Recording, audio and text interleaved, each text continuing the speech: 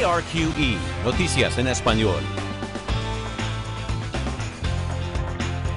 Hola, les saluda Alelia Elizondo. Bienvenidos a la edición digital de KRQ News 13 en español. Gracias por unirse a nuestro canal para ver sus noticias por la tarde. El alcalde de Albuquerque, Tim Keller, y los funcionarios de la ciudad ofrecieron una actualización esta mañana sobre los esfuerzos de la ciudad para combatir el COVID.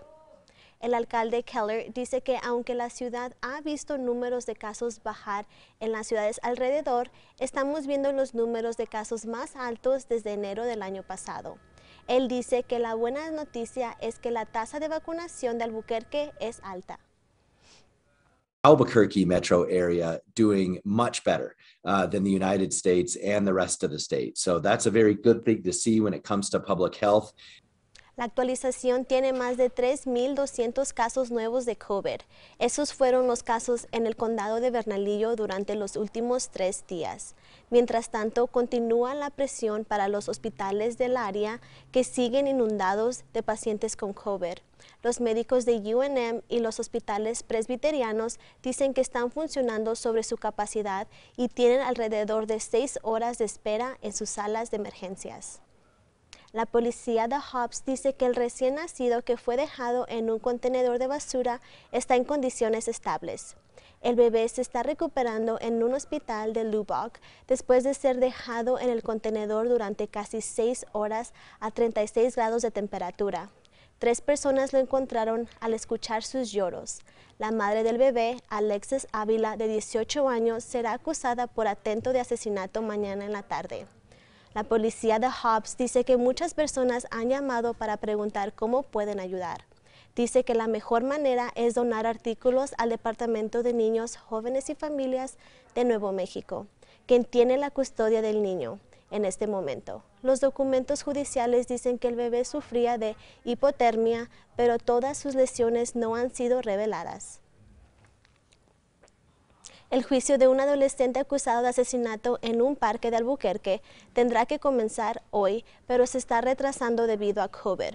Noah Durán es acusado de asesinar a Elijah Mirabal en el Parque Domingo Vaca al norte en el 2020. La policía dice que Mirabal se presentó en el parque creyendo que le estaba vendiendo drogas a una niña, pero fue encontrado por Durán y Jaden Sandoval que lo robaron y le dispararon. Los funcionarios del tribunal dicen que algunas de las personas necesarias en el juicio tienen que hacer cuarentena. Aún no se ha fijado una nueva fecha de juicio. Se han retirado cargos contra un hombre acusado de asesinar a dos hombres en una gasolinera de Albuquerque. Los investigadores dicen que James Chávez le disparó a James Ronquillo y Jesús López en el 2019. La policía dice que Chávez estaba merodeando y le pidieron que se saliera de Circle K y fue cuando dispararon. El mes pasado, un testigo declaró durante el juicio que ya no podía recordar los eventos que pasaron antes del tiroteo. El juez declaró un juicio nulso. Los fiscales ahora dicen que no pueden volver a acusar a Chávez porque ya no tienen pruebas suficientes para seguir adelante con un segundo juicio. Las familias de las víctimas de asesinato están trabajando con los legisladores estatales en leyes de crímenes más estrictas. Durante la próxima legislatura quieren que los legisladores pongan sanciones más estrictas en la ley. Nicole Chávez es la cofundadora del grupo de defensa Rob New Mexico. Su hijo Jaden fue asesinado por un disparo en una fiesta en una casa en el 2015. A lot of different lawmakers are showing interest in these crime bills because they work here in Albuquerque, Rio Rancho, and they see that crime is an issue. Los defensores están trabajando con los legisladores para obtener al menos tres proyectos. Incluyen la reforma de la finanza para mantener a los delincuentes en prisión hasta el juicio y una pena más severa por asesinato en segundo grado. También están tratando de aprobar una ley de tres strikes que eliminaría la posibilidad de la libertad condicional si mata a más de dos personas. La sesión de 30 días comienza el próximo mes.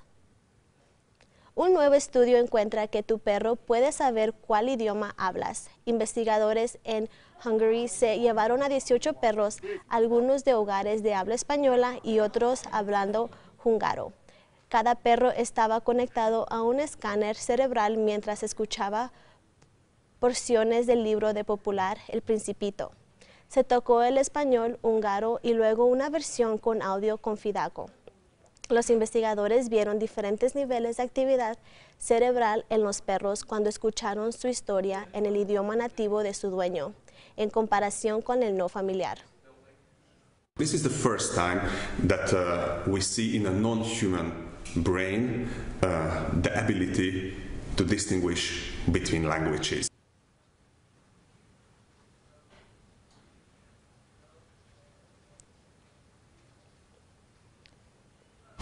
Y no se les olvide que pueden ver más noticias y pronósticos del tiempo hoy a las 5 y media y 6 por Fox New Mexico en inglés.